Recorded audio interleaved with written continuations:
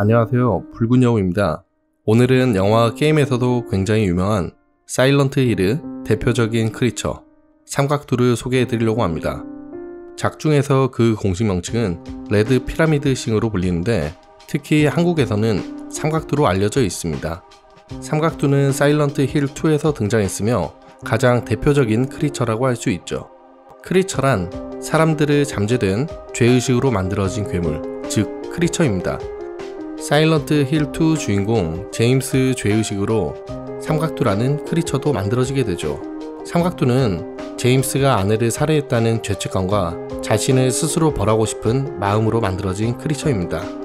Silent Hill은 본래 아메리카 원주민들에게 영험한 힘이 깃들어 있는 성지였고 마음의 어둠을 품고 있는 자들의 악몽이 현실로 나타나게 되었죠. 제임스는 과거 아내와 지하 형무소를 관광한 적이 있었고 그때 그림으로 본 삼각두의 모습이 무의식 중에 남아 이러한 creature를 만들어냈어요.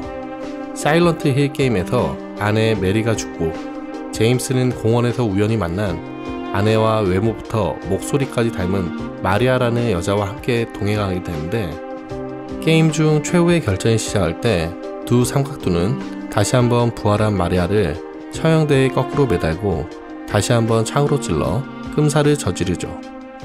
제임스는 마리아가 살해된 걸 보고 두 삼각두가 스스로를 처벌하기 위해 구현된 자신의 죄책감이라는 걸 제임스는 깨닫게 되었어요. 그리고 제임스와 전투를 벌이던 두 삼각두는 마지막에 방 가운데로 다가가 창을 바닥에 내리꽂고 스스로 자신의 턱을 창에 괴어 자살을 합니다. 사실상 제임스가 자신의 죄의식을 인정하고 깨달았을 때부터 두 삼각두 역할은 이미 끝난 거죠. 삼각두는 과거의 처형자의 모습으로 스스로 아내를 죽인 자신을 처벌하고 싶은 제임스의 어두운 마음이라고 볼 수 있어요. 따라서 삼각두는 제임스를 심판하는 상징적인 의미를 두고 있습니다. 또 다른 해석으로 삼각두는 제임스의 죄의식을 포함한 개인의 욕망을 표현하는 크리처라고 볼 수 있는데 삼각두는 굉장히 과학적이죠.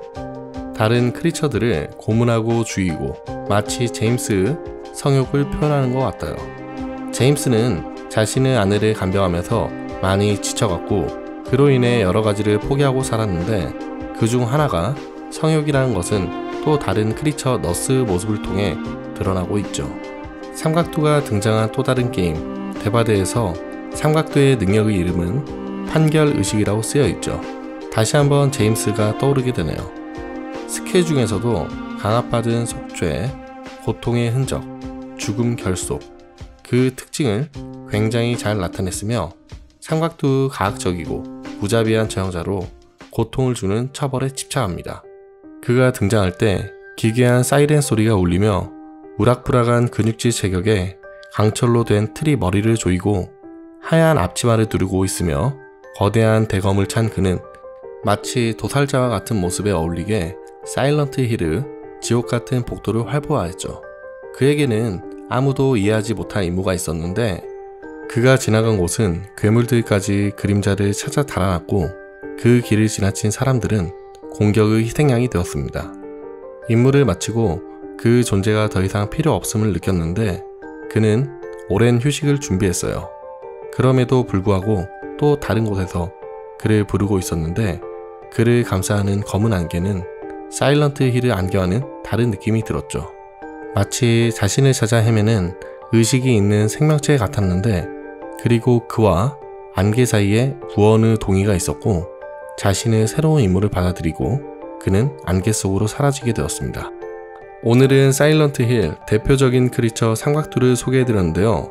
오늘 영상이 재밌었다면 구독과 좋아요는 제게 큰 힘이 됩니다. 감사합니다.